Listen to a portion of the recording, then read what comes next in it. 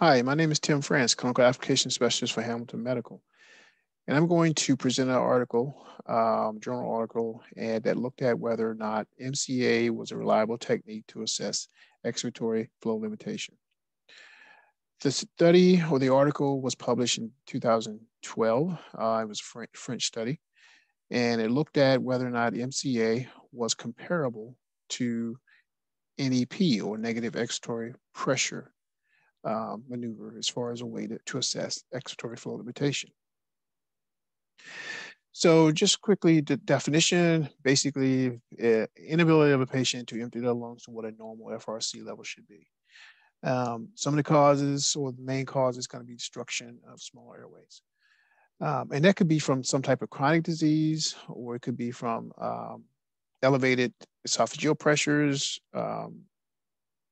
But and some detrimental effects to that are going to be um, hyperinflation um, as time goes on and a continued elevation of the FRC, and then gas exchange issues, um, increasing work of breathing as the patient tries to overcome these issues. Um, uh, muscle fibers, extra muscle fibers, continual destruction. If, if they're on a ventilator, they can have synchrony issues, uh, not being able to cycle a breath or not being able to initiate a breath. And then because of the increase in um, intrinsic auto PEEP, you can have cardiac compromise. So let's look at lung volumes. Um, and we see on the left, and we look at TR, TLC. And that's broken down into different compartments. We have IRV and tidal volume, which are primary, um, these are the primary gas compartments where gas exchange happens. And then you have ERV and you have RV, and then which comprises your FRC. If you look at a patient who has a chronic lung disease, you can see what, what happens over time is because of uh, inability to fully exhale all the way, you have your FRC increases. Again, these are not gases that are um, that participate in gas exchange. So we have issues with uh, CO2 retention, work of breathing um, issues, um, oxygenation issues that uh, are subsequently that subsequently happen after this. Here's just another example of what happens in dynamic hyperinflation from a situation where there's inadequate emptying of the lungs. Over time, you see the DFRC increases, um, whereas tidal volume, again, and um, IRV or compartments that actually that, that decrease uh, over time. Here's a, a, um, a, situation where we have a um, airway that is compromised and we have pleural pressures, uh, forces um, from outside the lungs uh, compressing. And so this creates expiratory flow limitation because a patient cannot empty their lungs adequately. So you'll have gas that will back up into the alveolar space and dilate the alveolar space. Another example, what can happen from an anatomic standpoint is here's a situation where we have an upper airway uh, obstruction and when a patient inhales against that, they actually create a lot of negative intrathoracic pressure, which dilates um, the whole airway system. Whereas you have a patient over here who has um, uh, esophageal um, or uh, esophageal pressure increase um, or pressure increase, you'll see that they're, and they have weak or damaged small airways, the compression happens here. And we get a situation where the alveoli are dilated. So this is kind of a difference of, of what happens. Both of these could be flow limitation, but it just so have it just depends on, on, on where it happens, intrathoracic versus extrathoracic. One another way to, assess um, or to make, assess whether or not maybe your patient has is looking at the ventilator graphics. And you can see that this patient is not, if you look at the flow waveforms, they're not fully exhaling.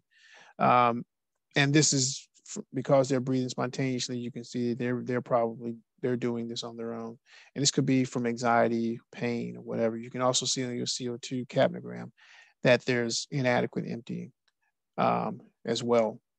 So what will happen is you'll have uh, the respiratory rate will continue to go up, work of breathing can continue to go up. You'll have ineffective ventilation, and then um, subsequently you'll get flow limitation.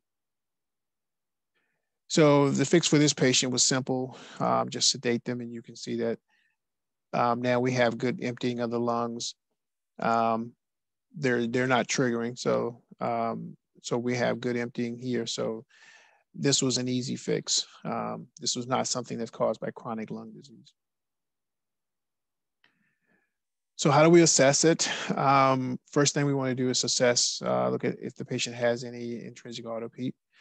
We can also do PFT testing if the patient can tolerate it. Um, the negative expiratory pressure technique, which I'll, uh, I will describe in a, in a little bit.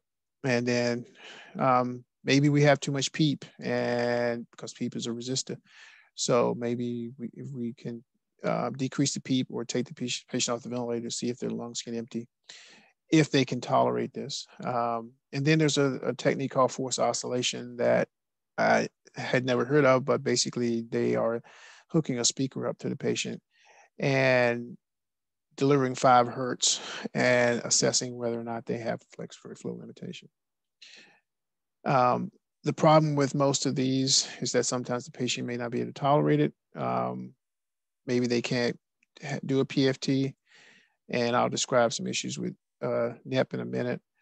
And force oscillation is just something that sounds very difficult to do.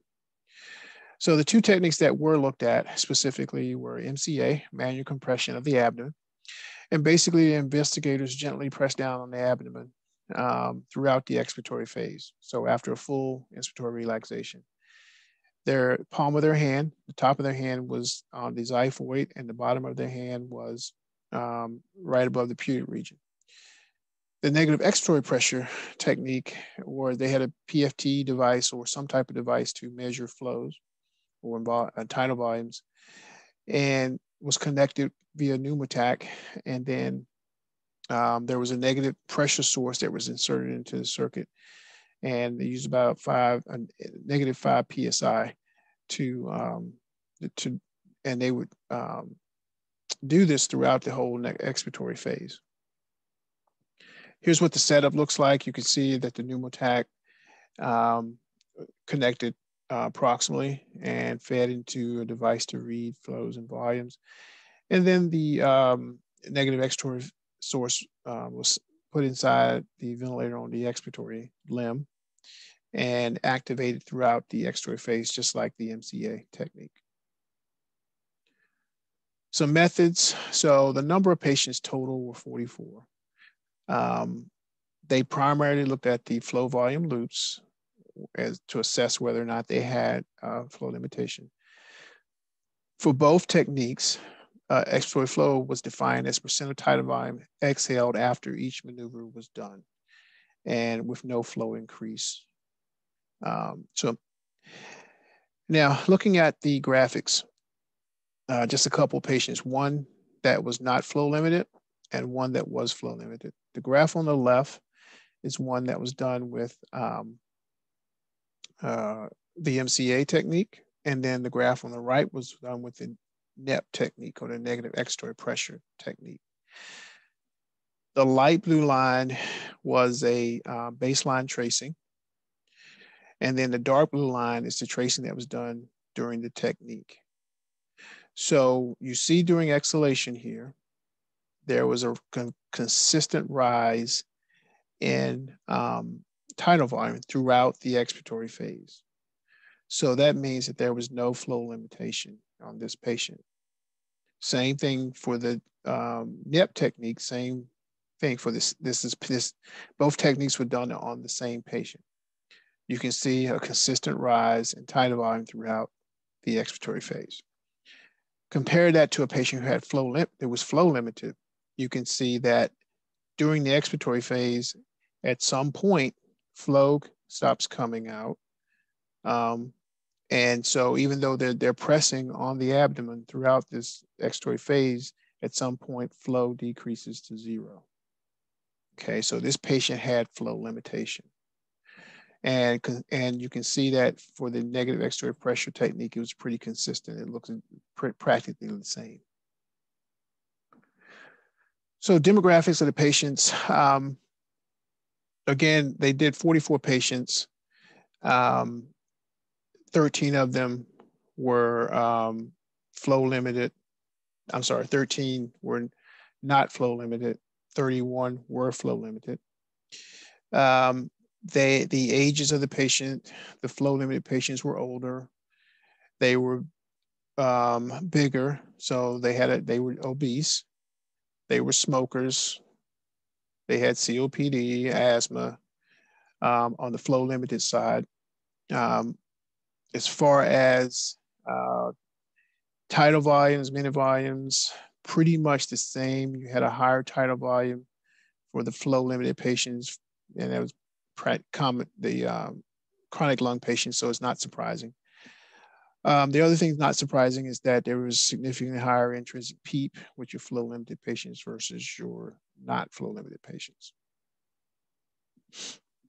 So looking at the data um, in a little a different view here as far as um, uh, tidal volumes and all those things.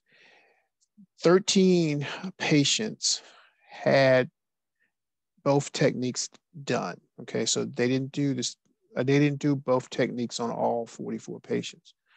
So these are the comparison of the patients who had both techniques done. The first six patients were not flow limited. Okay, so some things that stand out is, again, um, no significant intrinsic PEEP. Um, esophageal pressures were relatively low compared, except for this one patient that was 7.2. Um, so it's compared to the flow limited, which were the bottom, uh, the rest of the patients. So that they had significant uh, esophageal pressure uh, was higher. They all had MCA. I'm sorry, all had um, EFL, expiratory flow limitation. They all had significant intrinsic PEEP as compared to the non-flow limited patients. And something that was a little strange to me was that they actually, the vent settings for all the patients were pretty much the same, which, I mean, a rate of 24 on a patient who was flow limited, it seems a little extreme. Even a, like a 1.7 second E time, um, to me, you're pretty, I, I, I would imagine you are causing intrinsic PEEP and potential um, expiratory flow limitation on this patient by these vent settings. So I was a little baffled by that. Um, looking at the comparison of the two techniques to see if they, how they compare to each other, it, it was, they compare very well actually. Um, the first six patients who were not flow limited, both techniques showed that they were not flow limited. And then the, the other seven patients um, that were flow limited, it showed both, both technique, techniques pretty much showed that they were flow limited pretty consistently. So there wasn't one patient over here who had uh, one technique showing they were flow limited and one technique showing that they were not. So they were pretty consistent between the techniques. Also pretty consistent was in the face of intrinsic auto PEEP, they had significant um, flow limitation. So as auto PEEP goes up, flow limitation goes up. So to do an expiratory occlusion uh, or an auto PEEP measurement on the ventilator, and if there's no intrinsic auto PEEP, then more than likely they're not, they're not, they don't have expiratory flow limitation. So you can see all these patients clustered here who had little to no intrinsic PEEP had no um, uh, flow limitation to speak of. So a good screening technique would be potentially to do uh, an intrinsic PEEP measurement prior to any tech, any other techniques. So limitations of the study, small number of patients. Um, however, they did make a comment that there's not a lot of other studies that looked at this, are not very large as well. Um, they commented on a lack of consistency as related to what the esophageal pressures that they were getting because they measured esophageal pressures as they pressed on the abdomen. Um, but the um, the measurements were pretty spot on as far as comparing in the negative expiratory pressure technique with the MCA technique, and they also between investigators they were getting the same numbers as they were doing the doing the technique on the same patient. Uh, the ventilator settings I thought were a little strange, even though they made a comment about how you can mitigate expiratory flow limitation, but they didn't seem to practice that as related to what they set the patient up on. And I'm not, and, and there was no comment about we had to put them all in the same settings to make things, you know, consistent. I never saw a comment about that. So, so the ventilator settings were a little strange to me. So, so ways to mitigate expiratory flow limitation. Basically, it's it's all about um, decreasing intrinsic auto PEEP, um, allowing the patient more time to exhale, and that means manipulate 90 ratio, uh, decreasing ventilation, less air in, less air has to come out. And also maybe the airways just need to have a little um, help um, being splinted open because of excessive uh, transpulmonary pressure. So adding some PEEP, if the patient can tolerate it, might be a, uh, something to look at. So in conclusion, the MCA technique seems to be uh, seems to be pretty comparable to expiratory flow, to uh, um, the negative expiratory pressure technique to detect expiratory flow limitation. So only thing you need is a ventilator and with a reliable pneumotach that measures proximally at the patient. So if your ventilator measures pressure volume and flows back inside the ventilator, then you're losing um, some measurement as far as uh, reliability and as far as um, you know accuracy. So here's an example of what it would look like on the G5 or Hamilton G5. And here's my flow volume loops. And right now I am pressing down right at the start of exhalation and keeping it pressed down throughout. And you can even I had some time, I, it took me a few uh, tries to get it consistent. But here's a patient, if you can see that has um, no expiratory flow limitation throughout expiratory phase. There's consistent flow being um, pressed or the patient is having consistent flow coming out of their lungs throughout with this maneuver. So this is an example of a patient that does not have flow limitation. So let's say, let's look at a patient who has flow limitation. So again, um, same technique. Uh, I'm sorry, same setup as far as your um, um, uh, flow volume loop. And you can see that as I press during exhalation at some point, I keep pressing and at some point the, the gas flow goes to zero. So there's no gas coming out of the patient. Um, there's no elevated, there's no consistency at some point, the airways collapse and there's no more gas coming out. So this is a patient who has, who has flow, flow limitation.